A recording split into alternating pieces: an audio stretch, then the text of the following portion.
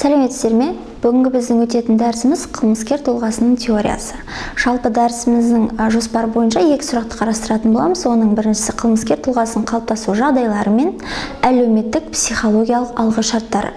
Екіншісі бұл бізде қылмыскер тұлғасының теориясы. Жалпы қылмыскер тұлғасының қалыптасу жағдайларына тоқталатын болсақ қылмыскер тұлғасы келеңсіз қоғамдық құбылыстар мен процестердің даралық нысанының көрінісі болып табылады.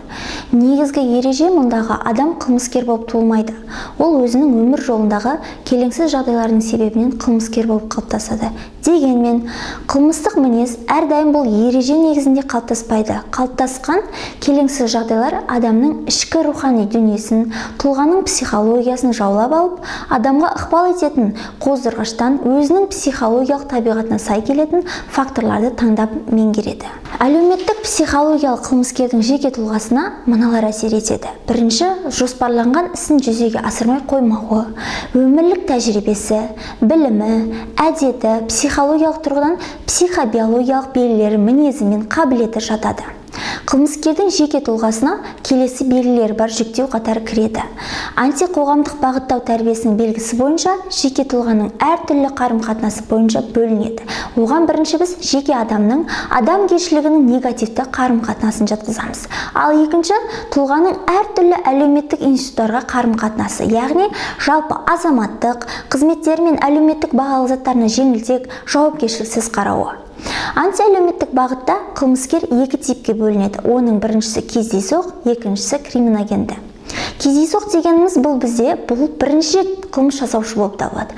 Ал екіншісі бұл криминогенді бұл біріншіден өзін қоршаған адамдардың әсерінен ә, қылмысқа итермелеуі. Яғни ол қандай қоршаған орта? Ол жанұясы достары таныстары болуы мүмкін. Екіншіден бұрын әртүрлі заң бұзушы әрекеттерге барғандығы. Үшіншіден қоғамның бағалы нормативтік жүйесінен өзін аластатылуы. Төртіншіден мінез құлқын теріс бағалауға үйреніп кеткен әлеуметтік психологиялық механизмді өзін өзі қорғауға пайдалануы келесі бізде қылмыскердің жеке тұлғаның ә, қылмыскердің жеке тұлғасына келесі белгілері бар. Шектеу қатарын кіргіземіз. Оған біз антиқоғамдық бағыттау тәрбиесінің белгісі бойынша жеке тұлғаны әртүрлі қарым-қатынас бойынша екі топқа бөлеміз. Жаңа атап өткенімдей жеке адамның адамгершілігінің негативті қарым-қатынасы болса екіншісі тұлғаның әртүрлі әлеуметтік институттарға қарым-қатынасы яғни жалпы азаматтығы қызметтері мен әлеуметтік бағалы заттарға жеңілтек жауапкершіліксіз қарауы. Келесі бізде антиәлеуметтік бағыттарға жаңағы көрсетіп кеткенінде кестеге қарасаңыздар біз бұл жерде антиәлеуметтік бағытта қылмыскерді екі типке бөлдік. Оның біріншісіне біз кездейсоқты екіншісіне криминогенді қылмыскерді жатқызамыз.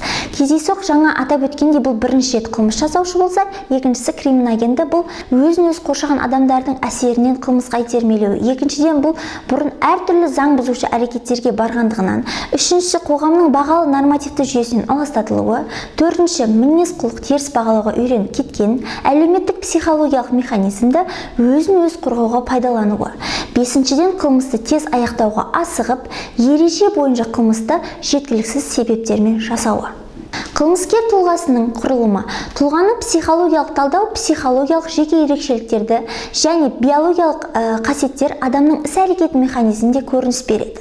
Қылмыс жасауға көбіне тұлғаның әлеуметтік жағдайда пайда болатын теріс іс-әрекеттері себеп болады. Осылайша қылмыскер тұлғасына байланысты құрылымдар біріншіден әлеуметтік демографиялық белгілер ақыл ой даму деңгейі психологиялық ә, процестердің құрылуы ә, биофизикалық белгілері әлеуметтік демографиялық және қылмыстық құқықтық белгілері қоғамның әртүрлі сфераларындағы әлеуметтік көріністер құндылық сапалары құндылық ерекшеліктер психикалық ерекшеліктер болып топқа бөлінеді. Қылмыскер тұлғасының теориясына тоқталатын болсақ қылмыскер тұлғасының теориясы қылмыскердің көбі қоғамдық ортадан алшақтау олардың шағын топтардан қарым-қатынасы әлсіз болуынан туындайды екен. Яғни шағын топтарға біз отбасын коллективін достарын және тағы басқа жатқызуымызға болады. Жалпы қылмыстың себептері мынадай болып бөлінеді екен біріншіден оларға әлеуметтік норманы игеру қиынға соғады. Сол себепті де ол оған жат көрінеді. Көптеген қылмыскерлер қандай заң бұзғанын біле тұра не үшін айыпталғандығын түсінбейді екен. Екіншіден бала кездегі ана, ата, ата ана тәрбиесі оны достарынан коллективтен және тағы басқа топтардан шектеуі. Мұның өзі ата анаға деген қарсылықты тудырады. Үшіншіден кекшіл болып өскен бала қоршаған ортаға қас дұшпан көзбен қарайды екен. Төртіншіден қалыпты ортадан қол үзген адам өзін өзі ұстаудан тәртіпті сақтаудан бас тартады. Өзі сияқты адамдармен араласқан соң олармен бірге топтық қылмыс жасауға қатысады екен. Енді біз жалпы теория бойынша қылмыскер тұлғасын көптеген ғалымдардың зерттеу объектілеріне тоқталып өтейік. Бұл бізде көптеген ғалымдардың зерттеу объектілеріне айналып отыр. Оған біз мысал ретінде альфред адлердің туу реттілігі теориясында бірінші реттегі баланың қылмыскер немесе заңға қарсы бағытталған тұлға болуы мүмкін деген тұжырым жасап қарастырғанын қара, ә, айтуымызға болады. Яғни бұл жерде бізге альфред адлердің айтуы бойынша бұл ә, бала туғаннан қылмыскер болып тумайды. Яғни тәжірибе жүзінде қылмыстылыққа өзін бейімдеп өзі қылмыскерге айналады деп тәжірибелеген. Чезаре ламброзаға келетін болсақ чезаре ламброзаның туа біткен қылмыскер теориясына тоқталып кетсек қылмыстық құқықты антропологиялық мектептің пайда болуы алдында аталып өткендей қылмыстылық қанат жаюмен және классикалық мектептің онымен күресу шараларын ұсынуға шамасы келмейтіндіктен сабақтас болды деп есептеген.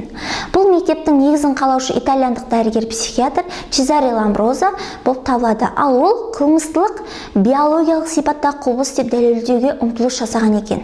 Ламброза қылмыскер ерекше биологиялық тұлға оның өзіндік антропологиялық сипаттары болады жалпы адам қылмыскер болып туады және оны түзету мүмкін емес деп есептеген.